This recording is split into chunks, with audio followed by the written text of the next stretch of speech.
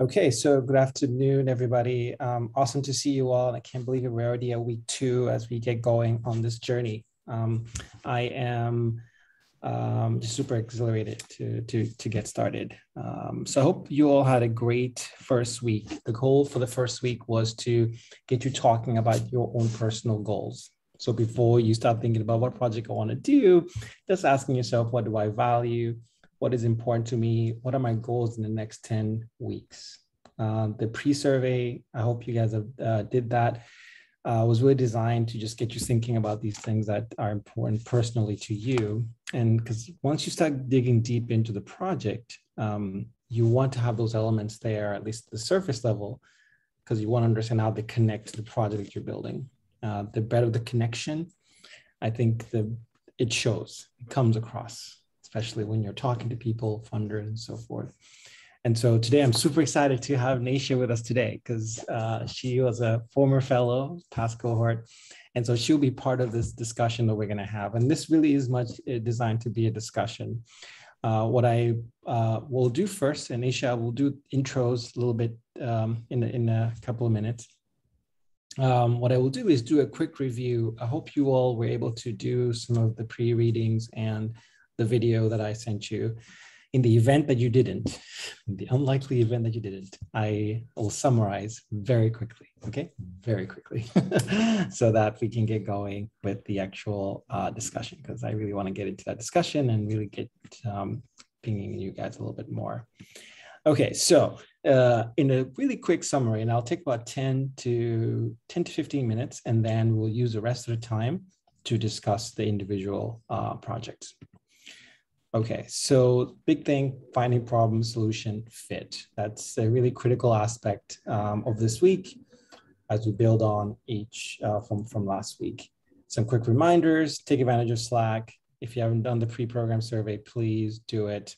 Slack is huge. We post everything on there and I'll keep reminding you to please take advantage of it, engage. Um, um, the funding, please keep in mind um, as an update, we will share, you guys should receive the first payment um, and by next Monday, okay?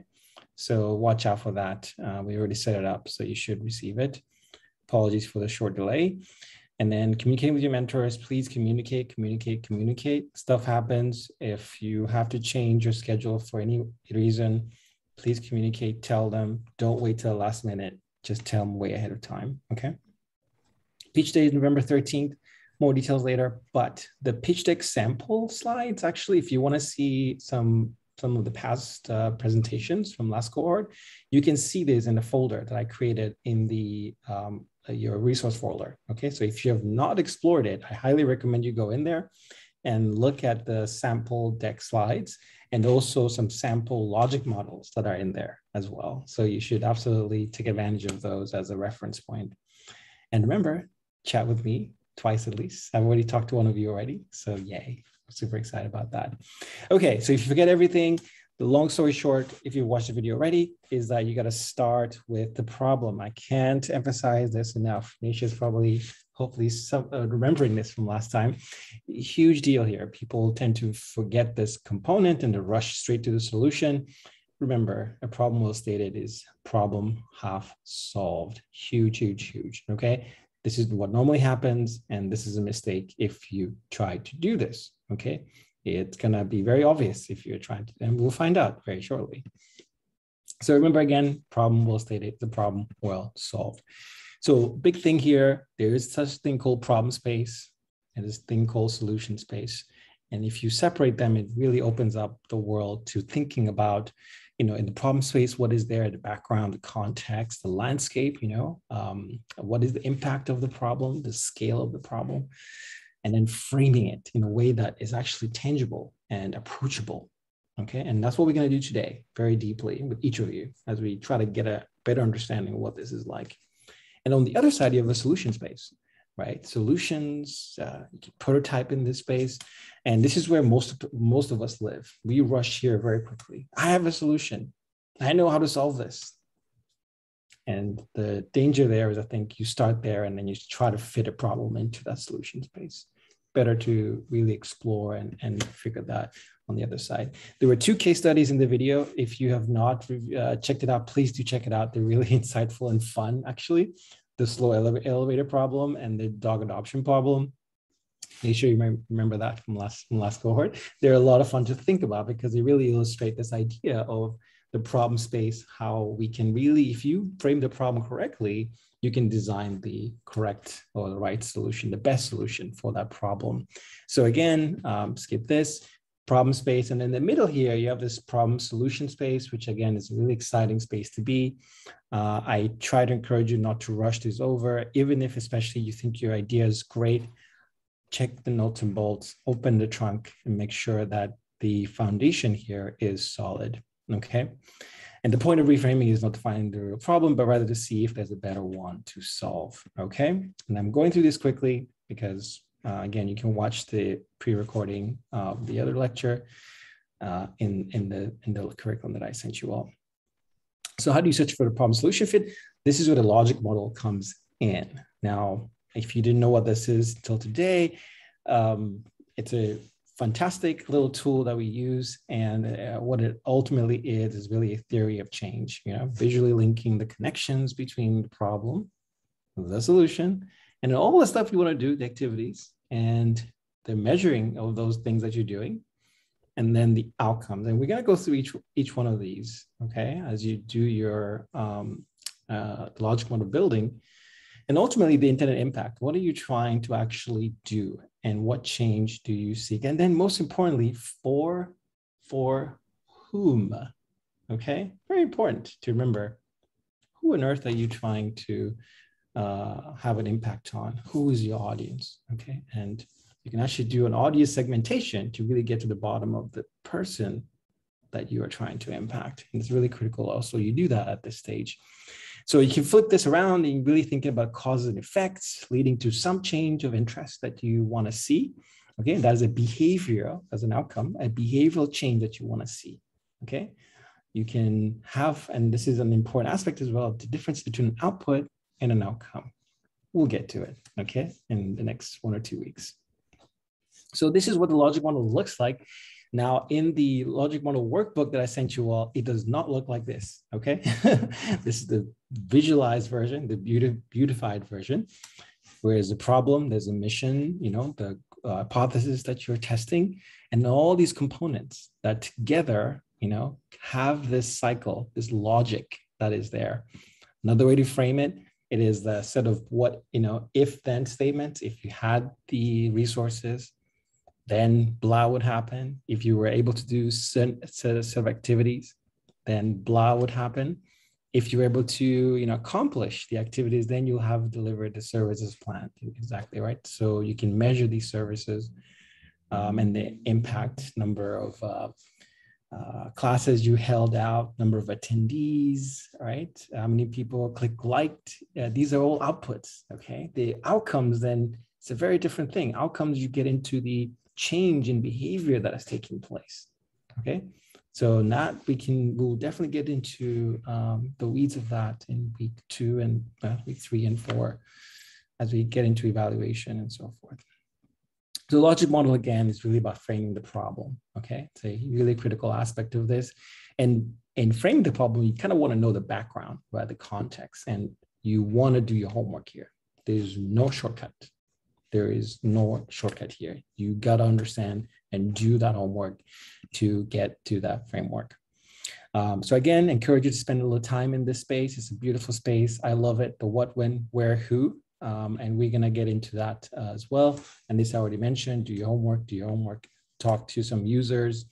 Um, and I've already mentioned this to my the first person I talked to already, talk to your users if you can. Okay, don't assume stuff. Okay, don't assume stuff. I'll repeat that. Don't assume stuff. All right. Because you're going to get caught if you do so. Okay. Or it'll bite you if you do so. So this week, yeah, I think that was a good time. So this week, the whole goal is to really focus on this problem solution space. All right. And uh, framing the problem, reframing it, and and so with your individual mentors you're going to have this tug of war a little bit as you try to get to the weeds of understanding that and then connecting the dots and seeing well does the approach that i'm proposing make sense for the problem the way it's framed right now, right? And if you emerge out of this that you're more convinced that your approach is right, good for you. However, should you suddenly realize actually trying to tackle a whole different problem for a very different solution, it's okay to revisit and change your approach. Okay. Or even reframe the problem to a point where you realize I need to uh, change my approach entirely. That's fine. Okay. You don't have to stick with what you propose in your application. Um, what we really want you to embody here is that the process is what really we care about that you went through, framed the problem in a way that is tangible, approachable, and you've thought about a solution that makes sense, that is specific, that has a targeted audience that you can target and address. Okay. Everything below here, the inputs, we won't go over today at all. We're not going to touch it. Okay, so what we're going to do in the next uh, 45 minutes or so is that we're going to have a conversation all right? A really active conversation. And i would encourage you and as we do these sessions in the weeks to come it's going to be heavy conversation. You guys have done the reading. You have watched the video hopefully uh, from uh, in, in the curriculum. And also from just my quick summary here today hopefully it sparked some questions but also i'm going to be pointing some directed questions to you all okay and saying like hey sam tell me more about your problem, right? Articulate the problem for me. And so you got to be ready when you come to these sessions to be called out uh, uh, point blank and for you to be able to share. And then for the rest of you, you don't just sit there quietly. Oh, no, no, no, no, no. Engage, um, provide feedback. If something does not make sense, absolutely say so. Like that does not make sense. okay and that's perfectly fine. I would warn you now i will i tend to do that a lot okay? Where something does not make sense or i wish to push you a little bit i will do so. We're all friends here. This is a safe space for us to do this. And uh, the way i think of it is it's um, i find it a privilege to be able to talk to you all and and and share these ideas and have you have your attention where we can engage and exchange ideas and that's the whole build up to even Thursday where we have the collab exchange. I hope you take some of these elements today and kind of um, use them uh, that session because you're going to be talking with people and they'll be saying lots of different things uh, over the window of time. So don't worry, we, we won't get you immediately started. I want to at this time um, take a chance uh, to introduce uh, Naisha. And so Naisha, are you still there? Let's see. Um, perfect. Yes. Yeah, I can mm-hmm. see you. Sorry, my video was hiding somewhere else. I will get back to this in a second. Um, uh, so Nisha, I will do very brief, uh, but Nisha, I want you to take time to introduce yourself. Um, and most importantly, give us a sense of your project. Tell us, your, give us your quick uh, um, uh, pitch and really focus in on that initial stages, right? The problem articulation. Uh, what was that experience like for you to go through that? Oh, trying to revisit and understanding okay who am i trying to solve this problem for? And is the design sufficient? Um, so with that nisha was a cohort five. And so Naisha, uh, welcome. And i'm looking forward to having, having this conversation with you and the rest of the uh, fellows. Thank you Fanuel. so hi my name is nisha. I am a postdoc at um, here in maryland. I live in virginia but i work in maryland. And uh, my project Be STEAMista basically our goal is to train teachers, specifically STEAM teachers, in order to help them make their classes more culturally relevant. And just to give you like a little bit of my background, I am from Puerto Rico. Um, so my target audience initially is going to be uh, students, teachers uh, from Puerto Rico. Eventually, I plan on expanding, right? But um, I don't know if you guys have heard that in 2017, uh, Hurricane Maria hit Puerto Rico really hard. Like we were months without power and many other um, situations. After that, in 2019, there were also a couple earthquakes, specifically in the southern region of the island. And that's where I grew up, uh, where I went to school. Um, and then we have the pandemic on top of that. So three events, right? Basically one after the other really uh, made some some damage in terms of like the, the educational uh, part, right, of, of the, the island.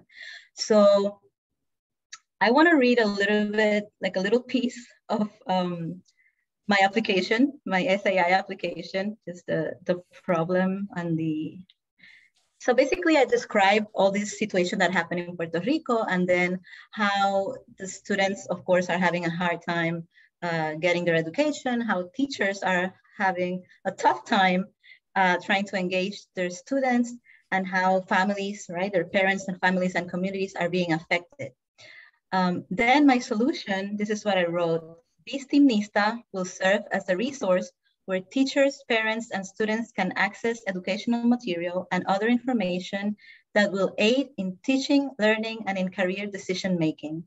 Original and culturally relevant activities such as coloring books, stories, short projects, blogs, workshops, interviews, articles, and books will be accessible on a main website. Collaborators such as Ciencia Puerto Rico, SACNAS, and other volunteers can help increase the impact of this project and the students' sense of belonging. So I think that's great, but that's a lot.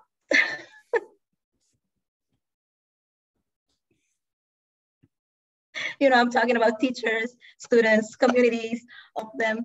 It's a lot, right? Um, and then let's see, I wanna share kind of like the the end towards the end of the program how, how things change a little bit. So my solution at the end by the end of the program i said vistimnista will provide four workshops to train teachers in how to make their classes more culturally relevant incorporate arts in stem develop community projects and collaborate with stem professionals who can serve as mentors so already uh, you can see that I went down, right? Specifically, my target are gonna be teachers. Um, and then I'm focusing on providing workshops. So I, I, hope that gave you an example of how things change, right? And how, how targeted you can be. And then I had the problem of the problem, of stating the problem, um, because yes, I was mainly focusing on the solution. I started thinking, okay, so how can I solve all these problems, the solution? And then Fanuel was always like, spend time thinking on the problem. Like we always spend too much time on the solution, but focus on the problems. I'm like, oh man, what can I do? Um, and then there was another workshop, uh, another seminar focused on evaluation, right? And I think you guys, maybe it's the next one for you guys.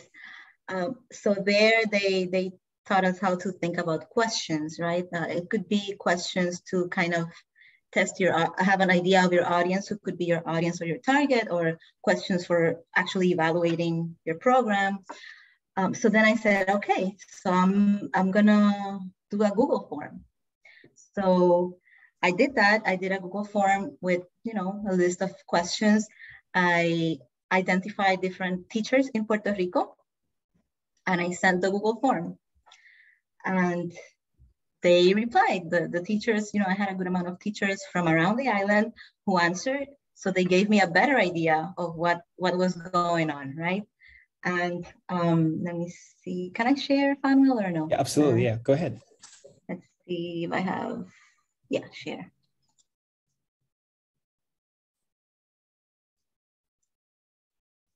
Do you see it or uh, yeah we see it. Powerpoint Okay, so basically I'm just gonna show you from that um, Google form.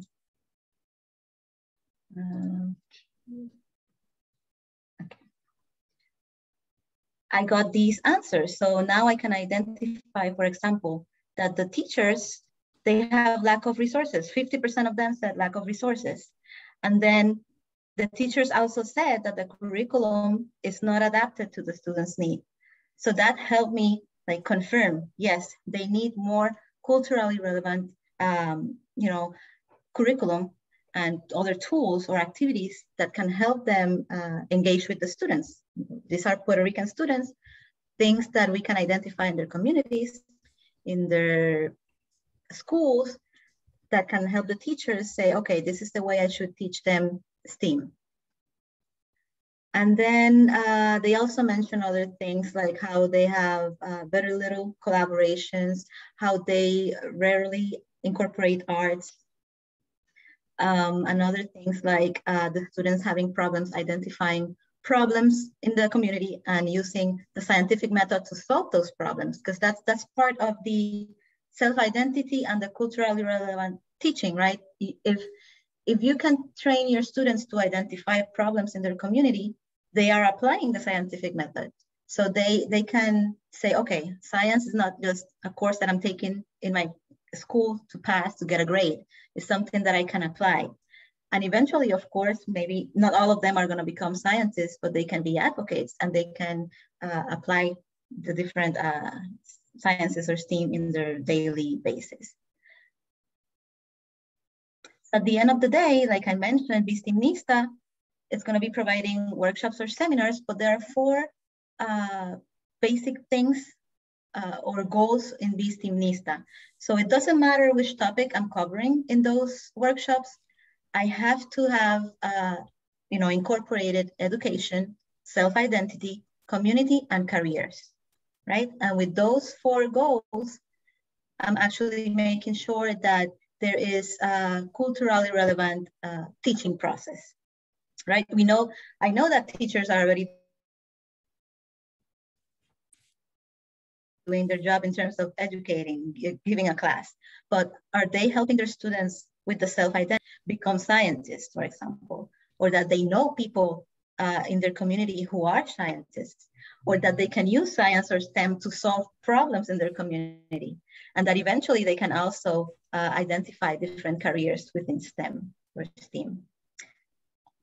So that's kind of how I, I try to identify the problem and then you know, try to target a little bit better which was uh, or which are going to be my my audience, and then in terms of the landscape, which is also important, right? Because if we're doing something, it should be something a little bit different, something that someone else is not already doing, um, or a problem that someone is not solving yet.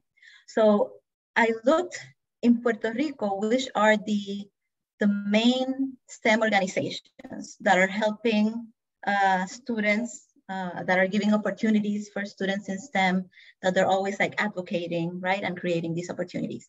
And these are three of them. Ciencia Puerto Rico, but Ciencia Puerto Rico, their main target is to create like a network of uh, graduate students and undergraduate students.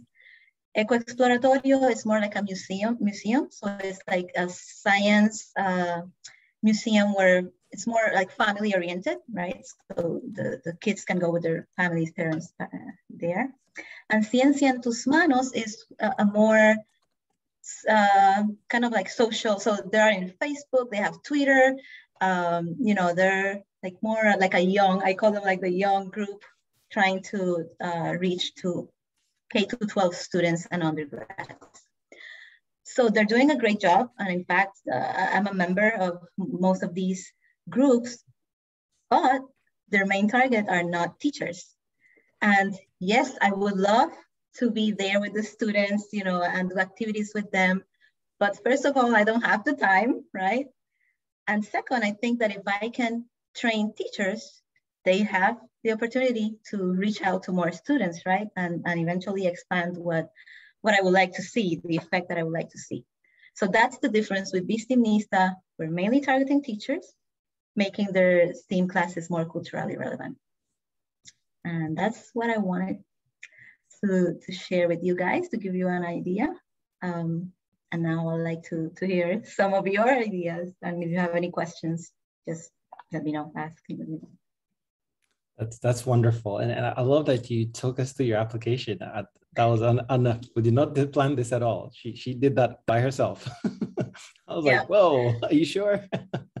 um, so before we get going with everybody sort of sharing their problem statements, questions, comments from from the fellows at all eh, for for uh, Naisha? Because I think you also thrive on getting you know, oh, that's an interesting idea, comments, right, or suggestions. So this is an opportunity for you to also practice asking these deep questions against uh, a pitch uh, on on the problem side, uh, for example. So the floor is open.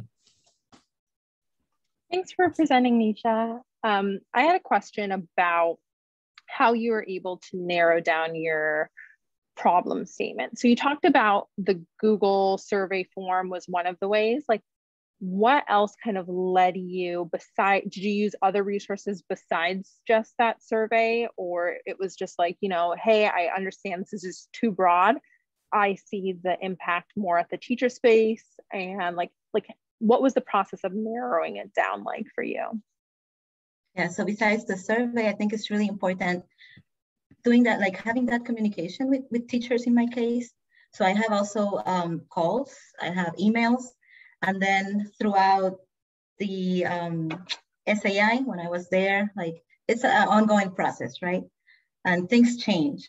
It was, it didn't go from all these things to this one thing. It was like a process. So and reading, you know, like everything, every resource that you can find. But in my case, it was the survey and keeping a communication with, with them to, to actually know what's happening right now in Puerto Rico. Because what I proposed was based on my experience as a student there and then what I think that I'm seeing, right? But I'm not, for example, I'm not in Puerto Rico anymore. I'm not a student anymore. So talking with them, speaking to them. Okay, thank you. That helped me. And I think you know the timing is the three the three weeks that you have now. We can do the problem, and we can have two weeks of just talking about evaluation it's really just one big window where we get to discuss the logic model quite a lot. So they're truncated like this, you know, on the curriculum, but really this conversation will keep going. It's not going to stop. We just initiate, think of this as initiating part of the problem discussion. And we're just going to keep adding on top of the discussion. Uh, Kushbu, did you have a comment there? Thanks, Rose. Thanks. Hi, hi, Nisha. Thank you for sharing your project. It's super cool, um, and it's it's super interesting because um, I I am a STEM education grad, so I feel like I relate on on like a lot of levels. So I think it was really inspiring, especially for me. Um, and I had one uh, particular question, uh, which was about how do you keep it going after the project is done? Like, is there uh, a newsletter that you still you know send out to the like the organizations that you mentioned? You know, just to kind of ensure that they're still in the loop and like how do you keep it going? I'm, I'm just curious like uh, for the sustainability and the maintenance part. Mm-hmm. yeah that's super important. That's, that's one of the main things right that you want with your project. Um, for me uh, so i i just finished right the sai um, uh, training. So basically i've been trying to learn more from the teachers. And um, I was telling Fanuel at the beginning that I just identified a group in Puerto Rico. It's called Aula en la Montaña, which is translates to classroom in the mountains. And this is in Peñuelas, where I went to school. They identified a community. It's, it's a rural community, so really rural. Like I, I have never visited they're in Peñuelas, I, I never, I didn't even knew about them. Um, they have around 17, 20 students from uh, different ages. So geographically, they already have a problem, right? It's, it's, it's hard for them to go to school. And then on top of that, they still have like the, the power, electricity. They, they have like four days a week, they have electricity. So internet is really hard for them. There's like one or two houses um, that only have uh, the service available. So they have a group of teachers who are volunteering in that group. And every Saturday they go to the, the, the community, right, to, to teach the students to create different activities. So um, I basically I contacted them. I kept I, I am just always seeking for like opportunities or who can I help um, with with the program. And yes, now by the end in by the end of October, we should have our first formal training, like uh, or seminar with Vistiminista is going to be offering uh, trainings for them, and yeah, just trying to learn how is the community, what are the needs, and then how can I uh, incorporate STEAM with culturally relevant activities. So yeah, and then um, from there, hopefully things will keep uh, going. But but yes, you I would say you have to like keep seeking for for your opportunities for who who can you help, like how can you help them. Yeah, and I know it's hard. We are all busy, right? But it's something that it's something that is in our hearts because we're, we're we're giving time to do this. So yeah, you you you'll find the time and and you'll make it work. And we hope the funding also helps. And it's one Absolutely. big change, uh, so, Nisha. We yeah, of course. funding this year. yeah. So this is like again, I'm doing just baby steps right now, and this is very small right now. My program, um, it's it's just me. I'm starting with this, but yeah, eventually, um, you know, as as I prove that it's working, right, I'm gonna be giving several um, workshops and getting data from from those workshops and then little by little, eventually I would like to write a grant and see what happens. And from there, keep growing, collaborating with SAI and different fellows. So yeah, absolutely. Thank you. Thanks for sharing. That's super helpful. Awesome. So we want to continue discussion. So you guys will get a chance now to tell my, both myself and everybody here. We want to hear a little bit of your problem solution space discussion in your minds as this stands right now. You're going to spend the rest of the week trying to perfect this and we'll be curious to see how it evolves over time. Um, so, okay, I'm just going to look at my screen and point to someone, and you're going to give us a short spiel. Okay, that's also the key here is give us that kind of a landscape, the way you understand it right now, and we're going to try poke holes in it. Okay, so let's get going. Rose, get us started.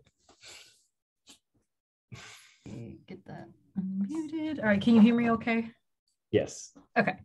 All right. So, um, Hi, I'm Rose.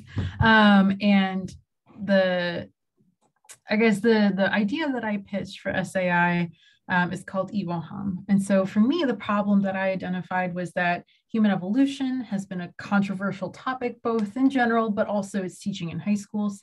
Um, and this is just from my personal experience. It seems that public knowledge is really limited to a few fossils, best case scenario. And oftentimes, uh, because of its limited teaching, I feel like it leads to more questions that could be answered, but they're not often due to like limited access to opportunities beyond just, you know, traditional museum exhibits. And if you don't frequent the museums or if you're not going to those exhibits, right, you're not getting exposed to those types of answers. Um, and then the only other opportunities typically are through like lecture-based education at the college level and you know these are all great communication mediums and they can be effective uh, for some people. But what i've seen is that hands-on and interactive material helps to expand this potential outreach for education particularly human evolution. And so uh, the idea I came up with EvoHum, it, it's, it's striving to bridge this gap um, between access to current knowledge of human evolution and evolutionary concepts uh, to the public through interactive medium that everyone can enjoy, which is board games. Um, and so my hope is to develop EvoHum, uh, which is a board game uh, about human evolution. And so players uh, will have a different scenario each time. So you're picking a different scenario, and these scenarios are based on um, different time points throughout human evolution. And so it kind of sets the stage, and it's still in in works, especially once I start talking about. Uh, I guess like my thought process once I started watching these lectures and, and reading through the materials. Um, but I thought, oh, well, maybe this could be a collaborative game where they're working together to survive as a species and kind of make it on to the next level, right? Um, and so I was hoping that you could also develop either some sort of workshop or lesson plan for teachers uh, that can be used in conjunction with a board game to maximize this experience. So the idea is that um, I'm marketing this more towards um, high school students just because of the advanced level of like what I'm hoping to convey um, in terms of these evolutionary concepts. But I'd also like to help um, fund providing these games for schools by also appealing to families and, and the public. So through their purchase of the games, I'm hoping to be able to provide these games for free to educators in like rural communities and also urban communities who might not have access to this sort of um, interactive education, especially with human evolution. Um, sorry, that was really long. Okay, but, okay, this is this is good. This is good. Okay, okay, guys, the floor is open. I I we could do we could go in there take it apart. But uh, what are some questions that uh, that arise for you? Does it make sense? Um, I feel like uh, Sam, you have something. I feel like you want to say something. I I, I mean, uh, I I I I love the idea. Uh, but it's not entirely clear to me how you get from the problem to that specific solution. Uh, like there's a lot of, uh, there seems to be a lot, uh, it, also your, your problem statement is, uh, it suffers from the same problem that mine does, or that mine has before I talk to other people about it, of being, you know, kind of broad and more philosophical and, you know, uh, then incredibly specific, like identifying that specific problem. Uh, and so getting getting to um, your solution, which I which I like, I just don't know if it's exactly the solution for the problem that you stated. Uh, which was you know big and societal level. Uh, and uh, but uh, one thing I, I, I, would love to ask though, especially about your solution, is why why a game versus any of the other possible interactive things that you could have done, especially given how hard it is to make a game that has both like reasonable mechanics, but is also actually like interesting and fun to play.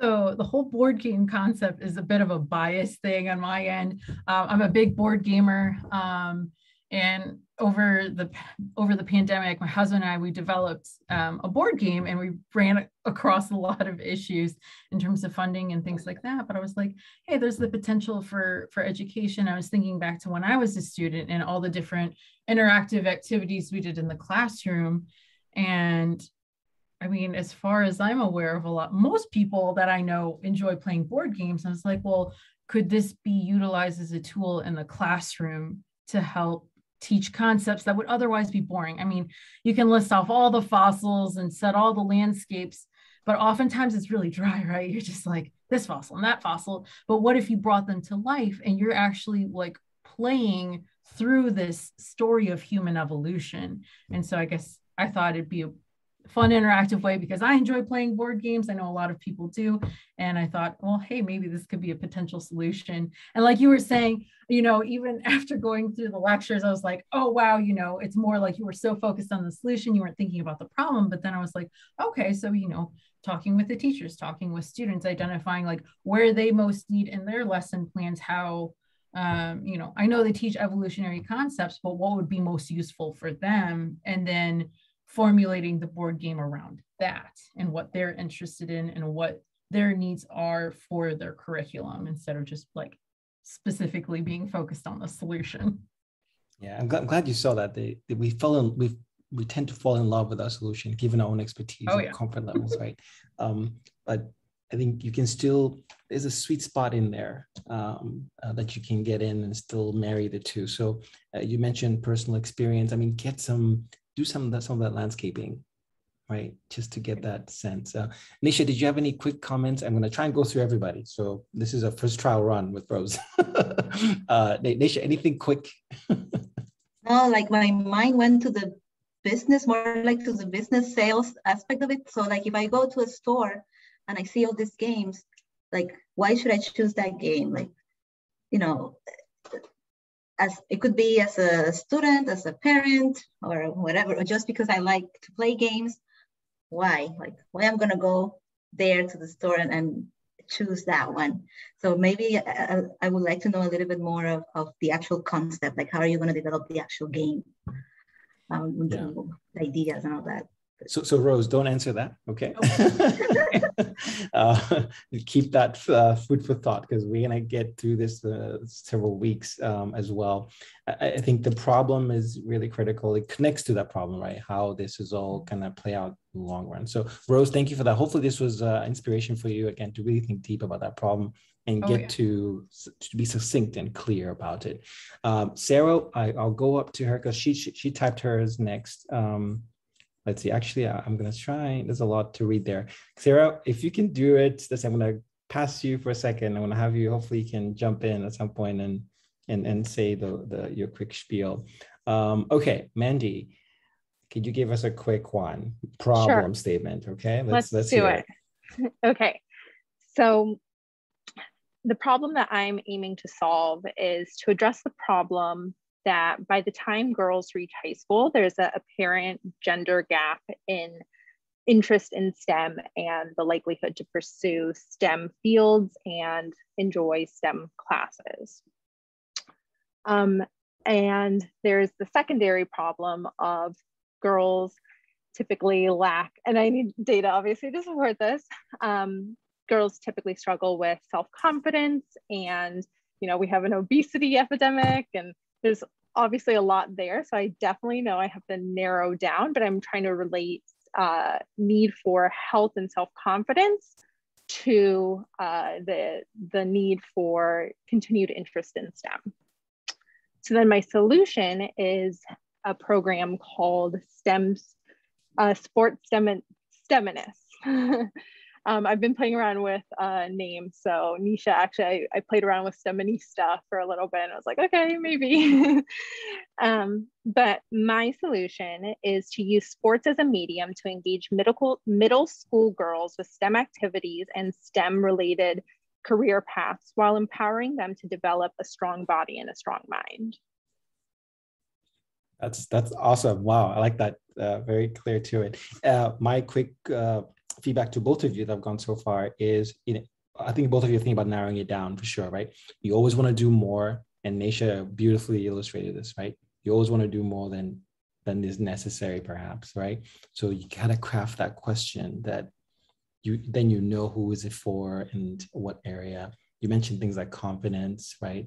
You mentioned like some STEM specific uh, performance, a lot of stuff in there. you can't do it all. So you have to narrow down and get some some data. And data does exist, guys, for all of you. Data is out there. And if it's lacking, that's a thing as, as well. You can try and find. Okay. Anybody have a quick comment or question for Mandy?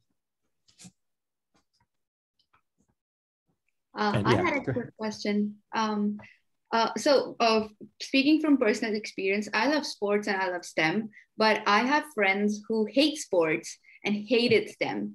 And uh, and and there's this is like literally a group of girls who would uh, like when we would have like the sports period in school, they would like uh, prefer sitting under a tree um, and just like gossiping. And I wonder like how would you cater to these specific groups?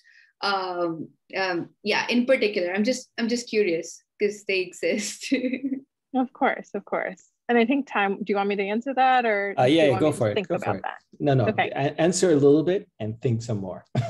of course. So the the I guess easiest answer right now, obviously, is still thinking about that. But there is a wide variety of sports, and I believe that there are sports for everyone. Whether it's not as high intensity, whether it's um, more leisure sports. I remember I took a class in high school and I was like, oh, these sports exist and it's just pretty chill, but still something that um, is active. Activity and sports are not all just like soccer and sprinting. Like um, there's a wide variety. So that's what I'm thinking initially, but that's a good point. I am an advocate of including arts, so like putting some music, theater, things like that there, where there's physical activity. Of course, dance definitely a big one. Yeah, I think you'll see you, it's going to be narrowing it down. And, and I know Jessica, your, your mentor, she will she will narrow it down for you. She's fantastic at that. Um, okay, Mandy, thank you so much. Uh, I'm really excited to see how all these program projects uh, shape up. Okay, Sam, tell us. Sure, happy to. Uh, so my uh, the problem that I'm trying to approach is that there does not exist any formal training or courses whatsoever for uh, people who want to communicate mathematics.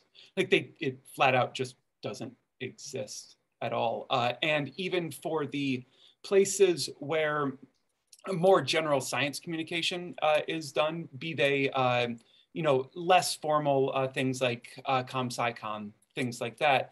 Um, there is uh, very rarely anyone there who has any expertise in mathematics and almost never even a math person in the room. Uh, I, I, I know that anecdotally, having gone to a bunch of these and being the only math person in the room. And uh, at more formal places, say the Santa Cruz uh, Science Communication Program, uh, of over the 400 uh, graduates, there's um, one hand's worth of people with mathematics background who are either currently in it or have graduated from it. So there is a real lack of mathematical communication training opportunities, and uh, I want to offer that to some people. Look at that. Oh my God.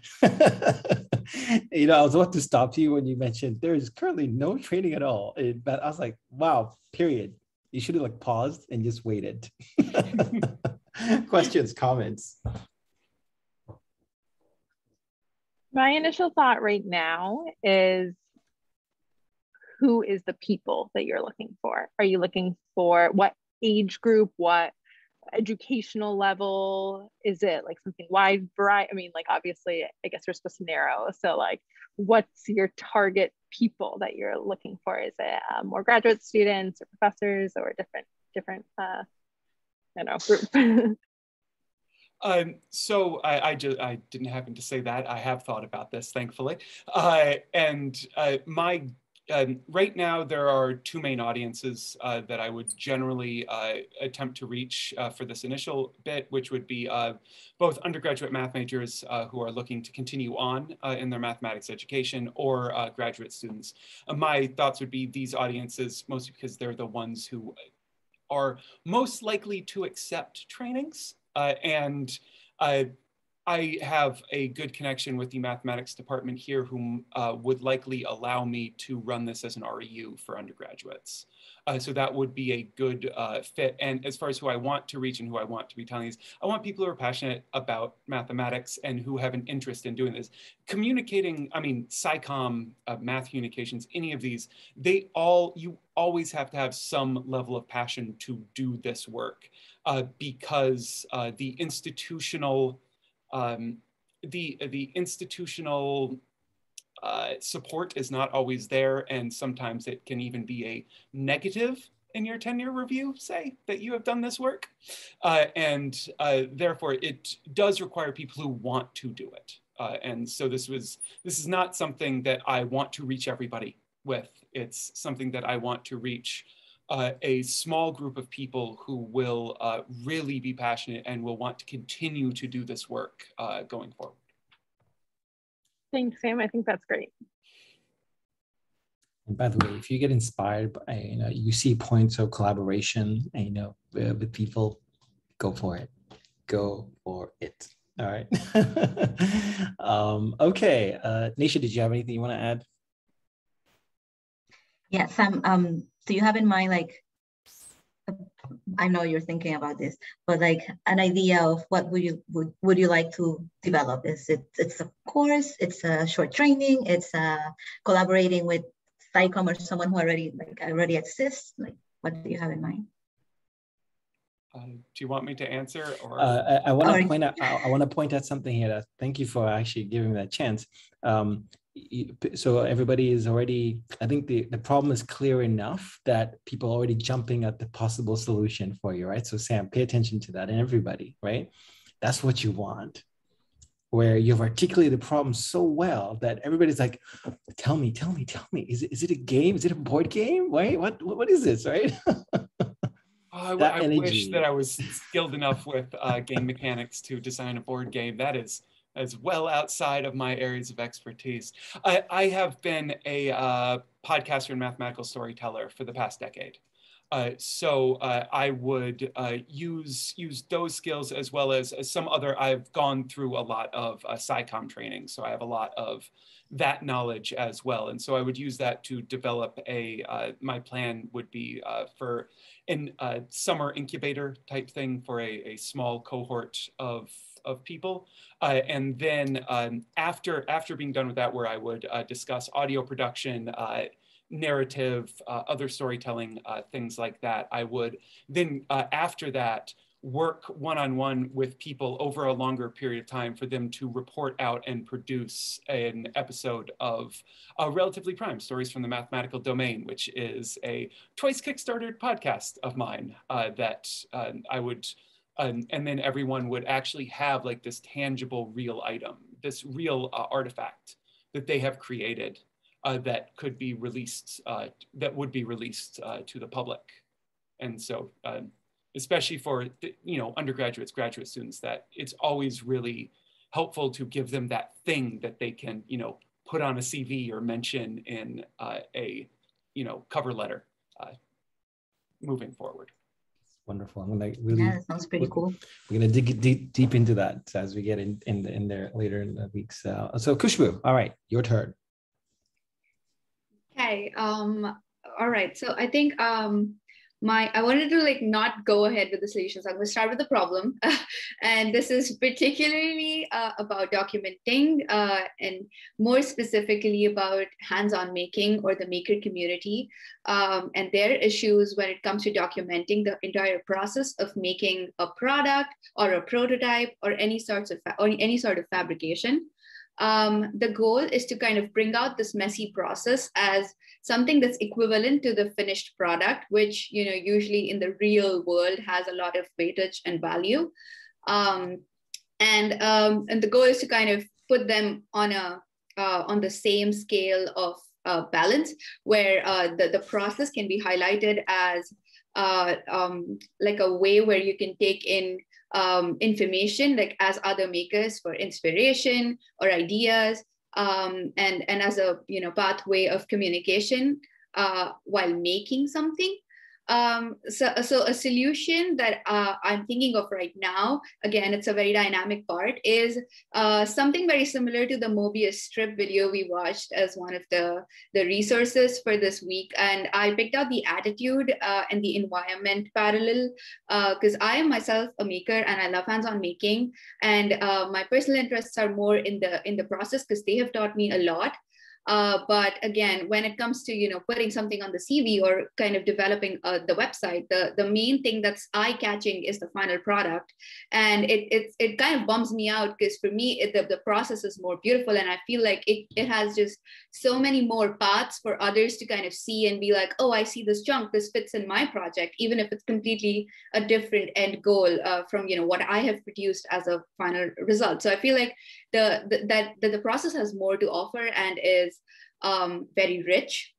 Um, so my goal is as a solution to come up with an environment parallel to this attitude of mine, which is to come up with a MakerCon or a Makeathon of sorts, to kind of bring together this community of makers who believe uh, and kind of connect with this thought of how important the, the, the process is and how, you know, the, the, the documentation and the kind of um, the step-by-step um, process of brainstorming or ideation is, and to kind of bring them together and um, ask them to create something um, in terms of a documentation portal where uh, they come up with solutions which are you know pertinent to the community and they, they come up with something that is novel or uh, cross learning uh, and uh, like offers ways of cross learning basically so that's that's kind of staggered and rugged for now. I understand, but that's that's exactly where I am. It's a gray area.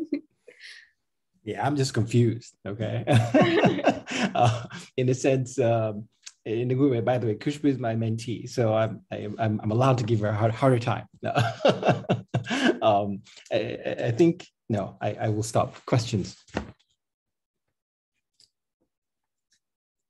Okay, Kushbu, I like the idea. I think obviously, as we all do, we're doing some refinement. Um, my initial thought was, what's the purpose of documentation? Like, I thought you were originally going to like, hey, I want to help them document so that regulatory wise, they have all their paperwork ready to file a patent, which might be an interesting way to go and like possibly a part of it, or maybe you don't go that part. But I think from what I heard you say at the end, it was, hey, I want to help them document so that others can see the process and like take part of it and run with it. But then also, I guess another concept that popped in my mind was like, oh, would people want to share that because maybe that's also their part of their IP and like that's also things I think you'll dissect as we go along. But the documentation, the purpose of the documentation was something that came to mind for me. Yeah, uh, keep that in mind, Kushbu. Okay, question for that. Any other comments, Sam? Uh, it, this might be tangential. Uh, Mandy's question just made me wonder for uh, this for this type of intellectual property that you are discussing. And I like I code. I'm terrible at documenting any level of code. Like anything you can do that can help figure out how to document stuff I'm 100% behind you. Uh, but uh, is are these things copyrighted or patented? Um, like I, I, I just like that's just a question I have. Kushbu, go ahead. Yeah, yeah. Um, that's that's actually a great question. It's kind of a it's it's again the, it's it's kind of in the gray area because I, I built something and and it, it's completely like recently i was into this process of you know figuring out if i want to patent something or copyright it and it's it's just so confusing because it's like on the edge all always like it's on the borderline and it's kind of up to the maker as to how far they want to take it depends on the funding they have so i guess that's a that's a that's a completely reasonable factor to you know to consider. So thank you for bringing that up. I definitely was not thinking about the IP uh, rights. So thanks, thanks to both of you. And I would add, so Mandy's question was very much my my my question, and we can definitely dig deeper into that in our one-on-one um, because I think it's a critical one. Mm-hmm. Going back to the problem, right? The mm-hmm. she was asking, what, what what is it about this documentation that's so critical, right? And I think you're gonna have to open up that box a little bit more to really get in there and understand the real, so the, the not the real problem, but the problem, right? To Naisha's point, talking to these uh, the makers already, getting that insight and data uh, would give you, um, I think, useful inf- information in terms of how to articulate it uh, further. Uh, Nisha, any any comments? Yeah, I was thinking like if, if I could buy kind of like what Sam was saying, if I could buy a book or a manual manual where you can show me, okay, I mean, maybe you can have like a general example so that people are not fighting, oh, that's mine, that's my idea, but you know. But yeah, just step by step, like what do I need to do, right? If I want to um, have a patent, like what are the steps right? from beginning to, to the end product in that writing process, documentation process. Yeah, and the audience as well. Who who are these makers, right? The maker is one thing, and for all of you, mm-hmm. publics mm-hmm. like publics actually is the actual term.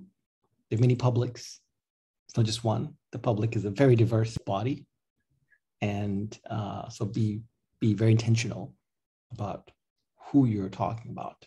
Right, public is too broad to to to say that. That's true. Yeah, that's important. Like if it's more like for STEM people or like a science or engineers or like be specific and don't be scared. I, will tell you what, don't be scared. It's really scary going down down that that specific, but it's exactly what you need to do.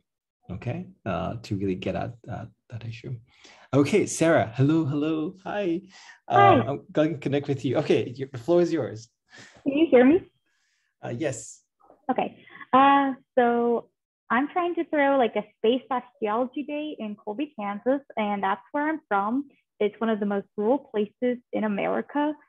So I think it's a very important place to go back to, especially since I have that personal connection. It's uh, a hub of 5,000 people, but it's one of the biggest towns for 70 miles. Like smaller towns come to us. Um, so out there, there's only about 22% of adults that have either bachelor's or higher degrees and the national and state average is about 33%. So I want to bring higher education out there. And specifically, since my background is space and geology, I thought that was a good thing to do. Plus, geology sciences as a whole are declining in majors every single year, and that's just across the nation.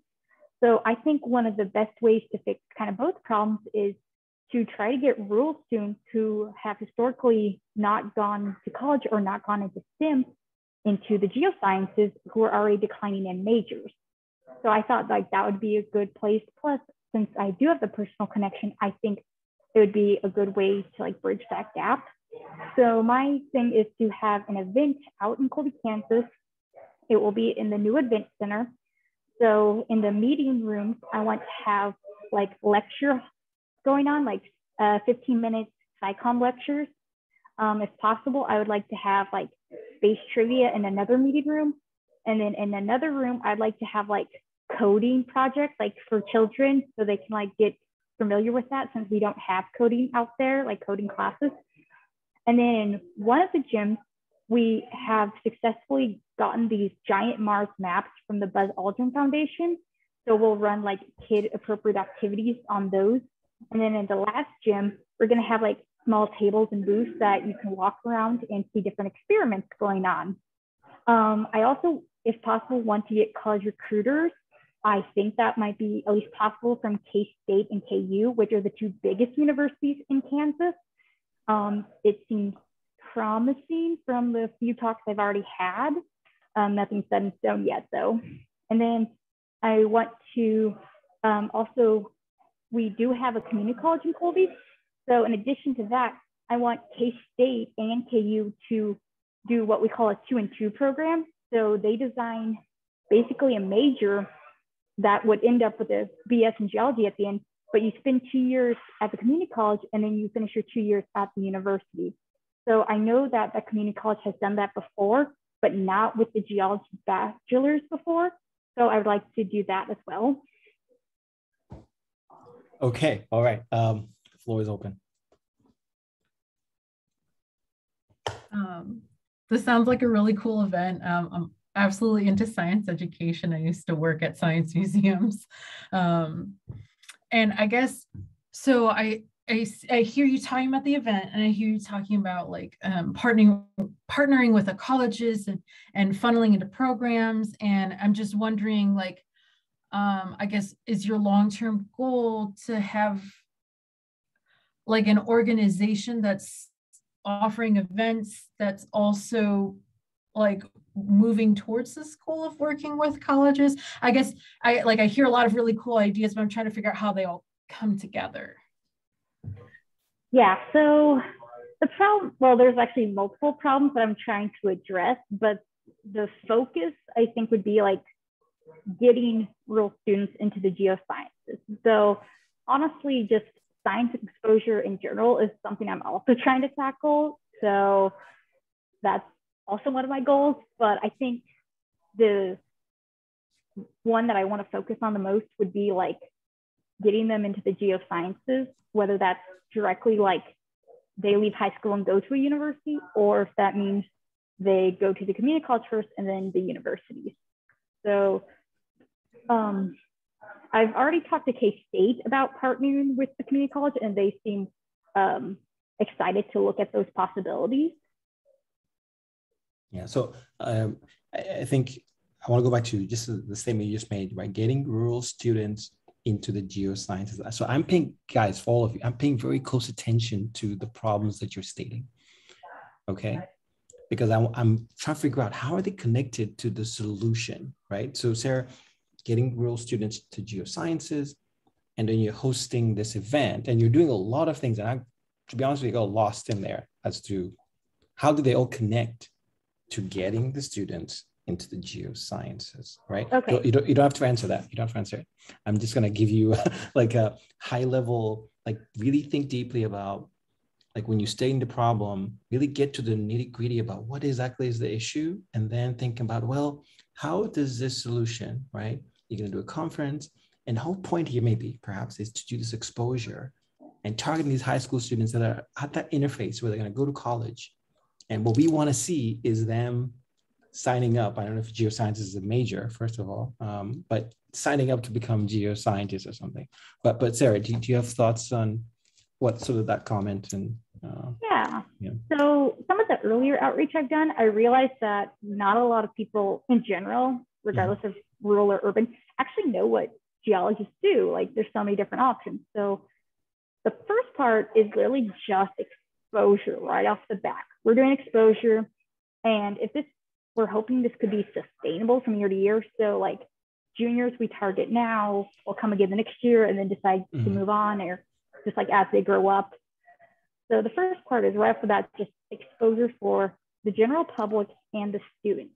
Because the other thing that I'm dealing with is that and I dealt with this personally. My mother was like, Why are you getting a bachelor's in geology? Like, what can you even do with that? So it's not just convincing students they can get a bachelor's in geology, you gotta convince your parents. So that's why a public event instead of like school events is why I think like we can actually bridge these gaps. Is we're getting the exposure out there. They get to see real scientists do cool things. They get to talk to college recruiters at the end of the event. And just like starting to get those seeds planted. So I don't think like right off the bat we're gonna get like all the new seniors this year or whatever to like do this. But I think that we can start planting seeds in like the younger generations and as they get older, and hopefully this is sustainable, even if it's not like every year, if it's every two years, I think we can really start like planting the seeds for the future. Other comments?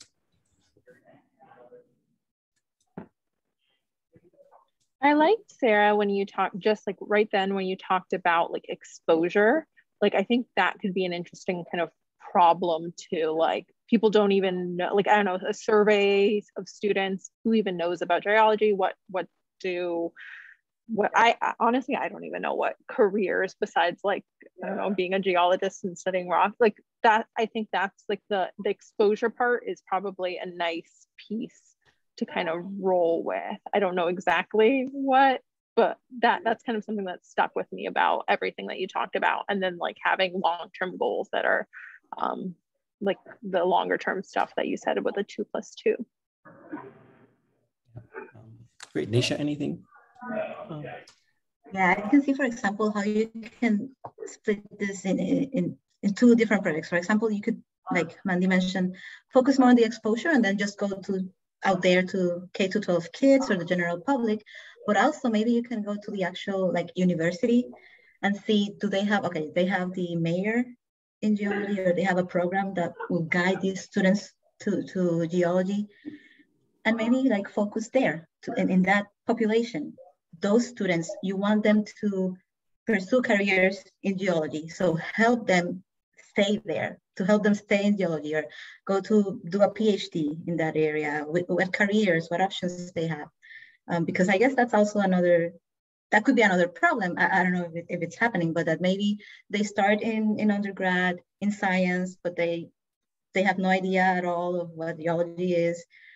So that's another group that you could um, focus your, your effort on. And maybe if you have connections already in the school, it might be easier. You can even develop some sort of um, like scholarship or, or internships, you know, so it, it, it depends. I guess you, you, it would be good to try to focus on your, your public or your, your target uh, population. Yeah, uh, remember, problem well stated is a problem half solved. Okay, and I want to commend you all. Like what you guys, what you guys just did is really hard. Like I, I just want to tell you all that right now right? To share your idea like this and to to be vulnerable to to for people to actually then tell you well this part doesn't make sense. And look at people's expressions like what? What did you just say? What? Right? Um, and so i want to thank you for sharing that. And i think i hope this experience really is builds you up from here as you now begin to say okay let's think about how do i learn and build from this right this week it's all about focusing on that problem. Today was day one, I hope. And then as you talk with your mentor and others, really try to hone that down, right? And then the following week as well, we're going to add another layer on top of it of evaluation. And we're going to continue always asking you, what's the problem? And how does it connect to your sort of the impact that you want to have, right? And you, all, some of you already started talking about impact, right? Already and outputs. And the question will always be, well, how does it connect to your problem? Right? Does it? And also, how does it connect to what you're doing? Right? And what are you going to be measuring? So all these questions start coming up, but you need to have a clear problem statement. It's all built from that foundation that uh, that then it becomes easier, I think, over time. Um, so, guys, I, I've had such a pleasure to to learn from you and and and just absorb this. Uh, it's a lot. My brain is like, wow, this is intense. Uh, Nisha, thank you so much. Do you have any parting wisdom that you want to share with them as they get continue? Oh my God, journey? no, you're gonna learn so much in this what three months, right? It's kind of like a program. It's it's incredible. It's so much learning, and um, yeah, I'm, I'm so happy. Thank you for the invitation because it's just it's so amazing like just to hear all these ideas it's like oh my gosh okay i like that. Oh i can implement this. Or i can collaborate. I can it's, it's just great. So thank you guys for sharing. Yeah, and, and take advantage this year because we're doing the flip model. We're very different to Nasia's, Nasia's cohort. Um, with, with less talking then. We're doing way more talking this time around. Um, so please uh, i really appreciate you guys stepping up and and, and sharing your advice and, and, and asking each other questions. And I hope it doesn't stop here. Please do so. Use Slack, engage with each other. Um, uh, I've already chatted uh, with Sam already, and I, I thank you, Sam, for that comment in the chat there. Um, and so when you come chat with me again, I, am just gonna give you a hard time. All right, just just telling you that right now, and, and uh, in a very I nice mean, way. you you heard what my original problem statement was, and then I get to just look halfway decent in front of all front of everyone else, and I I did not want to take credit for that because that was not me. Um, so it, it it's I promise it's not that um, bad. I'm very, very nice and, and we, we just have fun with it. And my goal is to, so just ask you questions and I keep asking questions until there are no other questions. And like, wait, okay. well, have a good week, everybody. I look forward to seeing you and seeing updates and please share updates as well in Slack. I'm always excited to see what you guys are doing. Something Eureka moments. Ah, let us know. We really want to know. And Nisha is one of our current junior residents at SAI. So feel free to reach out to her as well. She's in our Slack world as well. Uh, and if you want to learn more about ISTA and ISTA as well uh, with that. Okay, everybody, we have five, I've given you five extra minutes back. So yay. Uh, have a good week and um, enjoy. Bye, everyone. Have a great week. Thanks. Thank you. Bye. Bye, everybody.